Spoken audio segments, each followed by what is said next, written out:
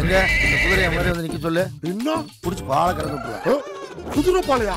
நான் குடிச்சதே இல்லை நாராயணா என்னது? அவ்வளோ ஈஸியாவா இவ்வளோ ஈஸியா கால் பண்ணு. இடத்த சொல்லு. நம்ம வீட்டு ஆளுங்க நம்மள எப்படி பார்த்துப்பாங்க? அப்படி பார்த்துப்பாங்க. போலாமா? இப்படிங்கிறக்குள்ள ஒரு செம ஜிடி ஹாலிடேக்கு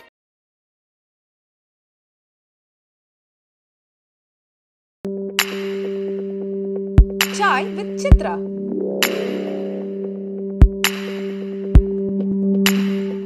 சத்யராஜ் நாத்தியத்தின் பக்கம் இழுத்ததும் நீங்கள் தானா? நான் தாங்க. மு- மிகப்பெரிய பங்கே எனக்கு. நான் தான் நான் எனக்கு தான் அந்த பங்கு. அதான் இந்த பிக் பாக்கெட் படத்தில் தாங்க அந்த கேமரா பாலு கிட்ட அப்போ தான் ரொம்ப தீவிரம் அடைகிறேன் அப்போ தான் பாலு கிட்ட சொல்கிறேன் பாலு நீங்கள் கேமராக்கு கற்பூரம் தேங்காய் காட்டினா நான் ஒத்துக்க மாட்டேன். நான் பண்ண மாட்டேன். நீங்கள் வெளியே உடச்சிக்கங்க அது பண்ணுங்க கேமரா காட்டாதீங்க. அந்த மாதிரியெல்லாம் நிறைய இது சொல்லி அப்போ தான் தீவிரமாக அதை பரப்புறது அதை பற்றி பேசுறது அந்த மாதிரிலாம். அதில் அவர்கிட்ட ஒரு புத்தகம் கொடுக்கும் கொடுக்குறேன் அது படிக்கிறாரு. படிச்ச உடனே ஐயோ கரெக்டியா அப்படிங்கிறாரு. ரொம்ப சந்தோஷமாயிடுது. பரவாயில்ல ஒரு ஹீரோவை இப்படி ஆக்கிட்டு வந்து இப்போவும் நீங்கள் நாத்திகவாதி தானா ஆமாங்க. இந்த பிட் பாக்கெட் படத்துடைய படப்பிடிப்பின் போது தான் முதல் முதலாக சிலிக் ஸ்மித்தாவோட உங்களுக்கு நட்பு- ஏற்பட்டதா? ஆமாம். எங்கே தொடங்கிச்சு அந்த நட்பு? அது ஃப்ளோர்லேயே வந்து அவங்க வந்து இதில் என்ன வேடிக்கை இப்போ சரிதா சொன்னோம் பார்த்தீங்களா அதே மாதிரி எனக்கு ரொம்ப பிடிச்ச ஒரு பிடிச்சன்றதை விட எனக்கு ரொம்ப க்ரஷ்ஷான ஒரு ஆக்ட்ரஸ் யாருன்னா சுஜாதா. நான் வந்து என்னுடைய காலேஜ் டேஸில் அவங்களுடைய ஒரு பர்ஃபெக்ஷன் இருக்குது அந்த அதில் எனக்கு ரொம்ப க்ரஷ்ஷாக இருக்கும். இதில் நீங்கள் பார்த்தீங்கன்னா பெருமை அப்படிங்கிற ஒரு படம். அந்த படத்தில் Muthuraman producer C V Rajendran direction இதில் வந்து இவங்க நடிக்கிறாங்க. இப்போ அந்த கேமராமேன் தேவி பிரசாத் இவங்க ஜெயதேவியோட சிஸ்டர் ஹஸ்பண்ட் அவங்க அவர் வந்து ஏதோ ஒரு ஊருக்கு போகிறாரு ஒரு ரெண்டு நாள் என்னை ஒர்க் பண்ண சொல்கிறார் நான் அது வரைக்கும் இந்த இது ஒர்க் பண்ணி பழக்கமும் இல்லை. இந்த கிளாஷ் ஒர்க் பண்ணி. இப்போது சுஜாதான்றதுனால போயிடுறேன். போயிட்டு ஒர்க் பண்ணுறேங்க ஒர்க் பண்ணி முடிக்கிறேன். அன்னைக்கு ஈவினிங் அப்போவே அப்படி பேக்கப் ஆகி போகிறதுக்கு முன்னாடி அவங்க அசிஸ்டண்ட்டு சுஜாதா அசிஸ்டண்ட் என்னை கூப்பிட்டு வர சொல்லுவோம் சொன்னாங்க வர போகிறேன் போயிட்டு மேடம் முடியும் எனக்கு ஒரு ஹெல்ப் பண்ண முடியுமா நீங்கள் என்னங்க. இந்த முழு படம் நீங்களே வேலை செய்யுங்க. அப்படின்னாங்க. நான் வந்து இல்லை மேடம் இது வந்து அவங்க ப்ரொடியூசர் அவங்களுக்குள்ள ரிலேஷன் அது மட்டும் இல்லை இந்த கேமராமேன் கூட எனக்கு ஒரு ரிலேஷன் ஆகுறாரு. அதனால் அது எப்படின்னு தெரியல மேடம் நான் ரெண்டு நாள் தான் நாளைக்கு வருவேன். இல்லை நான் ப்ரொடியூசர்கிட்ட சொல்கிறேன் அப்படி இப்படின்றாங்க. சரி அப்படின்ட்டு மறுநாள் வரேன் மறுநாள் வந்தால் அவங்க மறுபடியும் என்ன லஞ்ச் பிரேக்கில் அவங்க எனக்கு ஒரு மீன் வறுத்த மீன் குழம்பெல்லாம் கொடுத்துட்டு அப்புறம் வந்து மறுபடியும் கூப்பிட்றாங்க. கொஞ்சம் பாருங்கள் ஏன்னா ரொம்ப நல்ல ஒரு எக்ஸ்பீரியன்ஸ் உங்களோட ஒர்க் பண்ணுறது அதான் நம்ம வந்து ஒரு ஒரு இன்ஸ்டியூட்லேருந்து வர்றதுனால ஒரு சின்ன பிஹேவியர்லாம் நமக்கு தெரியுது. இப்போ இங்கே வந்து நான் பார்க்குறேன் இல்லைங்களா? ஒரு மெயினாக ஆக்டர் ஆக்ட்ரஸ் இப்போ எப்படி இருக்குன்னு தெரில நிற்பான் அப்போவே அங்கேயே கேமராமேன் வந்து "ஏய், நான் சொல்கிறேன் கேட்குறான் அப்படின்னா இவன் வந்து டைலாகு இந்த டைலாக்லாம் ஷாக் ஆகும் ஏன்னா இவனுங்களுக்கு வந்து இந்த என்ன ஷூட்டிங் என்வரான்மெண்ட் இவனுங்களோட என்வரான்மெண்ட்டு தான் ஜாஸ்தியாக இருக்கும். அதுவும் அங்கே வையா ஏய் சொல்கிறேன் ஏய் வா. அப்படின்வானுங்கல்ல இது நம்மளுக்கு பார்வையிலேயே அது அப்படின்றது இப்படிங்கிறது இதெல்லாம் இவங்களுக்கு ஒரு அப்புறம் தான் எனக்கு. அது ஒரு பெரிய எனக்கு ஒரு சுஜாதா வந்து நீங்கள் இது ஒரு புது எவ்வளோ படத்தில் நினச்சிட்டாங்க எல்லா டாப் கேமராமேனையும் பார்த்துட்டாங்க.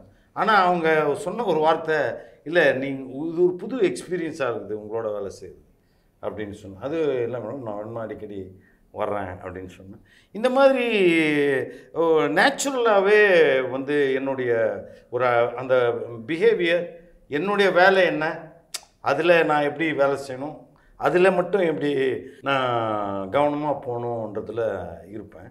அந்த மாதிரி ஒரு ஒரு அட்ராக்ஷன் அவங்களுக்கும் வந்திருக்கிறதுக்கு வாய்ப்பு இருக்குது ஏன்னா நான் என்னுடைய அந்த ஃபாஸ்ட்னஸ்ஸு எல்லாமே கொஞ்சம் ஒரு மினிமம் கொஞ்சம் ஸ்டைலாகவும் இருப்பேன். அதெல்லாம் சேர்ந்து அவங்கள வந்து அதாவது அல்டிமேட்டாக அவங்கள அதுக்கு முன்னாடி ரெண்டு மூணு வாட்டி வேறு வேறு இடத்துல போய் பார்த்துருக்கேன். சில்க் இங்கே ஷூட்டிங்கில் இருக்காங்கன்னு சும்மா அப்படி போயிட்டு தூரம் இருந்தெல்லாம் பார்ப்பேன். அவங்களுடைய ஒரு அனாட்டமி ஆகட்டும் அவங்களோட பிஹேவியர் ஆகட்டும் அது ரொம்ப ஒரு ரொம்ப ஸ்டைலிஷாக ரொம்ப ஜெனட்டிக்கலாகவே ஒரு பெரிய ராயலான ஒரு சீடு மாதிரி அவங்க பிஹேவ் பண்ணுவாங்க. அதில் அந்த மாதிரி ஒரு கலர் சூஸிங் அப்புறம் நான் லைட்டிங் பண்ணுறது அப்புறம் அதெல்லாம் பார்க்குறது அப்போ அதிலலாம் அவங்களுக்கு ஒரு நேச்சுரலான ஒரு அட்ராக்ஷன் வந்திருக்கு. அப்போ வந்து அவர் அவங்க வந்து அந்த டாக்டரோட லீவ் பண்ணியிருந்தாங்க பார்த்தீங்களா? அப்போ அந்த டாக்டருக்கும் அவங்களுக்கும் ஒரு மிஸ் அண்டர்ஸ்டாண்டிங் அந்த மாதிரியான ஒரு கட்டம். கட்டம். ஷூட்டிங் இல்லாத நாட்களில் கூட அவங்க எனக்காக செட்டுக்கு வர்றது. அந்த மாதிரிலாம் சிலிஸ்மிதா உங்கள் மேலே காதல் வசப்பட்டாரா? இல்லை அவரை நீங்கள் காதல் வசப்பட வச்சிங்களா? சொல்லலாம். சொல்லலாம். அப்படியும் ஒரு குற்ற உணர்வு இருக்கு. ஏன்னா முதல் தூண்டில் நம்ம தான் போடுறோம் இல்லையா? போட்டு அதை தெரியாத மாதிரி நடிக்கிறது அதிலெல்லாம் கொஞ்சம் எனக்கு நிறைய அதாவது அது எப்படி தூண்டில் போடணுன்றதும் தூண்டில் போடுறத போட்ட மாதிரியே காட்டாமல் இருக்கணுன்றதும் எல்லா ஆண்களுக்கும் அது ஒரு இதுவாக இருந்தாலும் நான் அதை பண்ணேன்றது உண்மைதான். இந்த காலகட்டத்தில் ஏற்கனவே உங்களுக்கு வந்து ஜெயதேவோட உறவு இருக்குது இல்லையா? அப்படிப்பட்ட காலகட்டத்தில் தான் இந்த முயற்சியில் முயற்சி எங்கே ஜெயிச்சுது அது? பலிக்கலைங்களே அதாவது நான் பேசுறது அப்புறம் நான் வந்து அவங்க வீட்டுக்கு போகிறது அதில் அவங்களுக்கு நான் ரொம்ப ரசிக்கிறது என்னன்னா நான் ரொம்ப சிரிக்க வைப்பேன் அப்படின்னு சொல்லுவாங்க. நீ என்ன இவ்வளோ சிரிப்பு காட்டுறீங்க? அப்படின்வாங்க அப்புறம் ரொம்ப சிரிச்சுக்கிட்டே இருக்கேன் நான் நீங்கள் வந்தா அப்படின்னு சொல்லுவாங்க. அபூர்வ ராங்கல் படத்தினுடைய கதாநாயகன பைரவி அந்த படத்தில் பிரசன்னாவா நடித்த கமல்ஹாசனுடைய வருகைக்காக கொட்டும் மழையிலே காத்து கொண்டிருப்பார். அது மாதிரி சிலிக் ஸ்மிதா கார் பேனட் மேலே உங்களுக்காக பல மணி நேரம் காத்து கொண்டிருந்தாங்களாமே. உண்மையா? இது வந்து நான் கன்ஃபெஷன் டு ஸ்மிதா அப்படின்னு ஒரு அதாவது ஜூனியர் விகடனில் ஸ்மிதா கிட்ட மன்னிப்பு கேட்குற ஒரு கடிதம் ஒன்று எழுதினேன். அப்புறம் வந்து அவங்க இறந்த பிறகு அதை வந்து கன்ஃபெஷன் டு ஸ்மிதான்ட்டு கூகுளில் அதை டிரான்ஸ்லேட் பண்ணி போட்டிருக்கான். அதை வச்சு இது இந்த காட்சியெல்லாம் கூட நம்மள படிச்சுட்டு தான் டர்ட்டி பிக்சரில் வந்திருக்கு. இந்த வெயிட் பண்ணுற சீன்லாம் கூட அதில் இருக்குது அதாவது நீல்கிரிஸ் இருக்கு பாருங்க ராதாகிருஷ்ணா ரோட்ல அங்க வந்து நான் வந்து நாலு மணிக்கு வரேன்னு சொல்றேன். நான் வெயிட் பண்றேன்றாங்க. அப்புறம் என்னால் அப்போ நாலு மணிக்கு போக முடியல. அப்போ இவங்க என்ன பண்ணுறாங்க அவங்க காரை நிறுத்திட்டு அந்த கார் மேலேயே ஏறி உட்காந்துக்கிறாங்க பெரும் கூட்டம் கூடியது. அப்போ வந்து ரைட்டர் லக்ஷ்மி இருந்தாங்க. ரைட்டர் லக்ஷ்மி அந்த தான். அவங்க வீடு. அதே அந்த சிஐடி அப்போ பையன். அவங்க பையன் மகேஷ் டாக்டர் மகேஷ் அவனை இறந்துட்டான். அவன் தான் எனக்கு க்ளோஸ் ஃப்ரெண்டு எம் ஸ்மிதாக்கும் நான் அவனை அறிமுகப்படுத்தி வச்சுருக்கேன். அவனுக்கு ஃபோன் பண்ணுறேன் மகேஷ் இது மாதிரி ஒரு பிரச்சனை ஆயிடுச்சு. நான் வர முடியல. நீ நேராக அவள் வந்து எப்படியும் பெரிய பிரச்சனையை பண்ணிடுவா நீ போயிட்டு அவளை நம்ம வீட்டுக்கு கூட்டிகிட்டு வந்து இங்கே இருக்கு நான் வந்துடுறேன் அப்படின்னு சொல்லிட்டு சொல்கிறேன் அப்புறம் இவனும் போகிறான் இவனும் போனால் கூப்பிட்டா வரமாட்டேன். இல்லை அவர் இங்கே நாலு மணிக்கு வரேன்னாரு வர்ற வரைக்கும் இருக்கட்டும் பார்க்கட்டும். அவர் பார்க்கட்டும் காமெடின்றது அப்போ இவனும் போனால் அப்புறம் நான் கொஞ்சம் லேட்டாக போகிறேன் ஒரு நாளே முக்கா கொஞ்சம் டைம் ஆகுது. நிறைய க்ரௌடு அப்படி இப்படின்ட்டு. ஒன்றும் கூலாக இல்லை.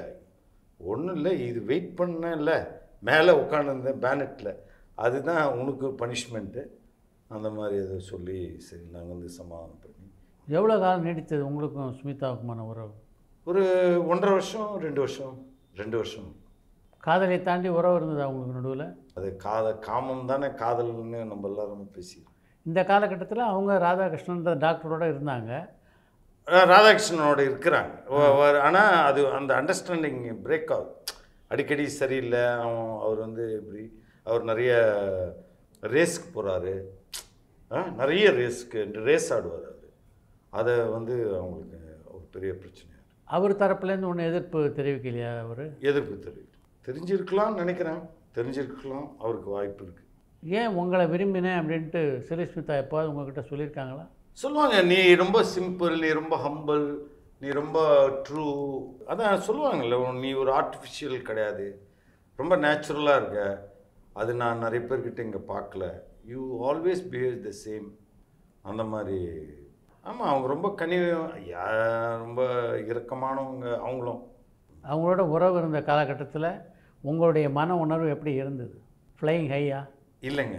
அதுதான் மீண்டும் நான் மனிதன் வந்து எவ்வளோ கீர்த்தனமானவன் அப்படிங்கிறத நான் சொல்ல விரும்புகிறேன் மனிதனுடைய உணர்ச்சிகள் இருக்குது பார்த்தீங்களா?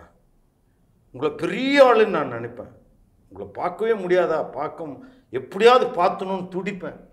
நீங்கள் பார்த்துட்டு என்ன பிரபாகர் அப்படி மேலே கை வச்சுட்டு வாப்பா நம்ம ரெண்டு பேரும் சாப்பிட்லாம் ரெண்டு நாள் என்ன சாப்பாடு கொடுத்தீங்கன்னா அடுத்த நாள் நான் உங்களை பற்றி என்னையா இந்த ஆளு புரியுதுங்களா? ஏன்னா பிரம போயிடுது. பிரம்ம போயிடுச்சுனாவே ஆச்சரியம் போயிடுது. வேறு ஏதோ பேச ஆரம்பிப்போம். நீங்கள் உங்களுக்கு அறிவு சொல்ல ஆரம்பிப்பேன். நீங்கள் என்ன பண்ணணும் தெரியுங்களா? எப்படி நான் உதவாதவனாக இருப்பேன்? நான் ஒரு ரூபாய் கூட சல்லி காசுக்கு பிரயோஜனம் இல்லாதவனாக இருப்பேன்? நீங்கள் ரெண்டு நாள் என்னை சாதாரணமாக கூப்பிட்டு தம்பி வாடா என்ன வாப்பா வா உன்னை பார்க்காம எனக்கு ரொம்ப கஷ்டமாக தான் சொன்னீங்கன்னாவே உடனே அடுத்தது வந்து நீங்கள் எப்படி இருக்கணும் தெரியுமா? நீங்கள் அதெல்லாம் சரியில்லைங்க. அப்படி நீங்கள் இப்படி போங்க அப்படி போங்க அப்படின்றது இது வந்து நீங்களே பார்த்துருப்பீங்க. ஒரு அசிஸ்டன்ட் டேரக்டராக சேரணும்னு வருவான். அவன் அப்புறம் நமக்கே இப்படி கதை சொல்லுவான். இந்த மாதிரி தான் அவங்களோட சேர்ந்த உடனேயே அந்த பிரமிப்பு எனக்கு போயிடுச்சு. ஏன்னா நீங்கள் இது சில்க்குக்கு சொல்கிறீங்க நீங்கள் கலைஞருடைய கலைஞரே என்னை வந்து ரெண்டு வாட்டி சந்திச்சோன்னே அவர் யாருன்றதே நான் மறந்துட்டேன். அவர் ஒரு சிஎம்ன்றதே எனக்கு ஞாபகம் இருக்காது. அவர் யாரையோ சும்மா அடிக்கடி போய் பார்க்குறதும் அவருக்கு கொஞ்சம் அறிவுரை சொல்லிட்டு வர்றதும் என்ன? அப்புறம் தான் நினச்சி பார்ப்பேன். என்னடா இப்படியெல்லாம் பண்ணிட்டோம் நம்ம? அது மாதிரி தான் அந்த ஸ்மிதா மேலே இருந்த அந்த ஒரு புதாகரமான ஒரு இமேஜினேஷன் ஒரு கற்பனைலாம் நீங்கள் பார்த்தீங்கன்னா இதே நான் வந்து தாஜில் அவங்களோட சண்டை போட்டிருக்கேன். தாஜில் ஹோட்டல் தாஜில் அந்த ஷாப்பிங் போகிறாங்க அப்போ அவங்களுக்கு ரொம்ப இந்த இந்த சின்ன சின்ன கோல்டு மூக்குத்தியோ இந்த மோதிரமோ இந்த கல் அதெல்லாம் ரொம்ப நேரம்.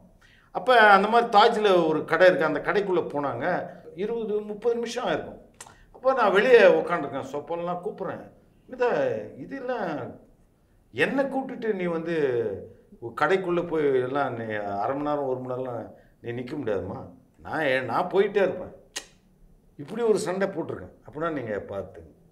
அப்புறம் தெரியுது. அப்போ நமக்கு புரிய அப்போ நமக்கு என்னன்னா இது ஒரு வரலாறு ஆகும்னு நமக்கு தெரியாது இல்லைங்களா?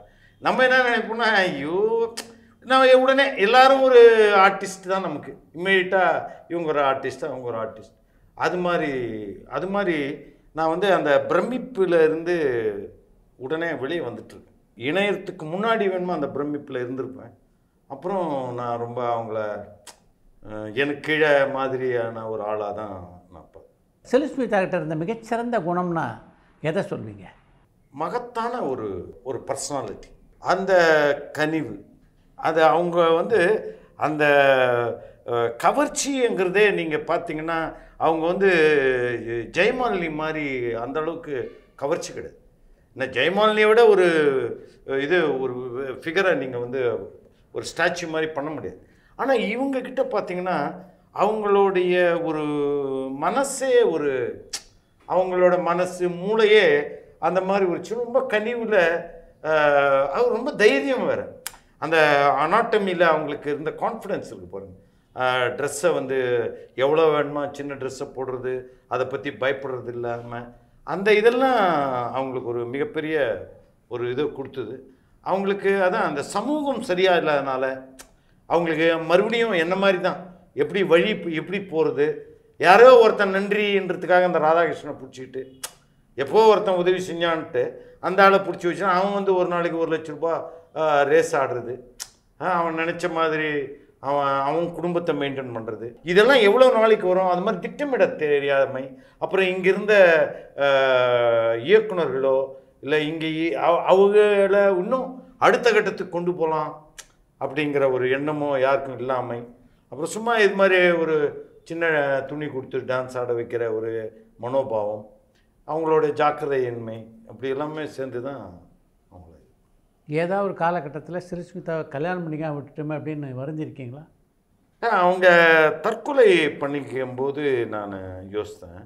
அவங்கள நம்ம மிஸ் பண்ணிட்டோம். அவங்க நிச்சயமாக அவங்க உயிரோடு இருந்திருப்பாங்க.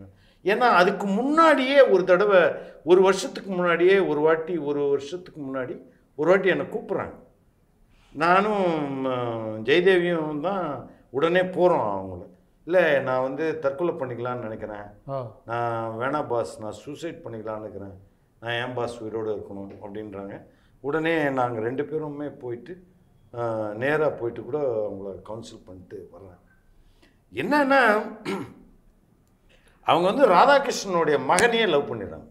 பண்ணாங்க. பண்ணிடுறாங்க. ஓ. அந்த எண்டு ஓ. இந்த எண்டு பொசிஷன் வருது பாருங்க. அந்த டைமில் வந்து அவங்களுக்கு வந்து ராதாகிருஷ்ணனுடைய சொந்த மகனே இவங்க லவ் பண்ணிடுறாங்க. லவ் பண்ணிவிட்டு அவங்களோ அவனோட ரிலேஷன்ஷிப்பில் இருக்கிறாங்க. அதை வந்து எனக்கும் சொல்கிறாங்க எனக்கும் அந்த பையனை இன்ட்ரடியூஸ் பண்ணுறாங்க ம். ஒரு நாங்கள் எங்கேயோ நான் போயிட்டு வரும்போது இங்கே வாங்க அப்படின்றாங்க. அந்த ராஜராஜேஸ்வரி கல்யாண மண்டபத்தாண்டு தான் போயிட்டு நின்று இந்த பையனோட வராங்க. வந்துட்டு அவனை இன்ட்ரடியூஸ் பண்ணுறேன் அதான் தெரியும் அப்புறம் நாங்கள் ஒரு அவுட்டோரில் இருக்கோம். அந்த அவுட்டோருக்கும் அந்த பையன் வரான். வைசாக். அப்போ எனக்கு சொல்கிறாங்க இன்னைக்கு வரான் அப்படின்ட்டு. அப்போ அந்த ரிலேஷன்ஷிப் வந்து நான் நான் சொன்னேன் இது வந்து ஒரு இதுக்கு. நல்லா ரொம்ப காம்ப்ளிகேட்டட் ஆகிடும் இது வந்து யாருக்குமே புரியாது. எல்லாருமே உன்னை வந்து எப்படியாவது இது பண்ணுவாங்க. அப்படின்ட்டு அது மேபி அவங்களுக்கு புரியிற மாதிரி இல்லை. என் மேலே அவங்க நம்பிக்கை விட்டுட்டாங்க. அதாவது என்னை ரொம்ப அழகாக ஹேண்டில் பண்ணாங்க. அதாவது உன்னை ஒரு அல்ப புழுடான்ற மாதிரி கட் பண்ணிட்டாங்க. அந்த இந்த மேட்ரு வந்து பார்த்தீங்களா நான் ஆல்ரெடி ஜெயதேவியோட ரிலேஷன்ஷிப்பில் இருக்கிறேன் அப்படின்னு தெரிஞ்சு அவங்க என் முன்னாடி கேட்குறாங்கன்னு நீ இப்போ என்னடா பதில் சொல்கிறேன்னா இல்லை நான் நான் வந்து இவங்க ப்ராமிஸ் பண்ண அவங்களோட போகிறேன் அப்படின்னும் போது அவங்க வந்து இவன் என்னை ரொம்ப கீழாக நினச்சி புரட்சிக்காரன் இது போன்ற படங்களுக்கு பின்னால் கொஞ்சம் சாஃப்ட் போர்ன படங்கள் அப்படின்னு சொல்லக்கூடிய செக்ஸ் படங்களுக்கு மாறினீங்க. எதனால்? அதுதான். அதாவது அது வேலு பிரபாரனின் காதல் கதைன்னு எடுத்தேன். ஏன் எடுத்தேன்னா உங்களுக்கும் இளையராஜாவுக்குமான நட்பை பற்றி சொல்லுங்கள் இளையராஜாவை பொறுத்த வரைக்கும் நான் என்னன்னா எல்லாத்தையும் கண்டுபிடிச்சிருவார். அதாவது கண்டுபிடிப்பாருன்னா அவர் வந்து இவன் இதுக்கு பொய் சொல்கிறான் இவன் நடிக்கிறான். புரியுதுங்களா? இப்போ வெளியேற படங்கள் எல்லாம் பார்க்குறீங்களா இல்லைங்க. பார்க்குறதே. ஏன்? இல்லை அது சும்மா அந்த பிட்டு வருது இல்லைங்களா அந்த டிவியில் டிவியில் இதில் அதுலேயே அந்த மெச்சூரிட்டி இருக்குது. நம்பர் ஒன்று டைரக்டர் நம்பர் ஒன் படம்லாம் இருக்குது பார்த்தீங்களா அதுவே எல்லாமே தவறான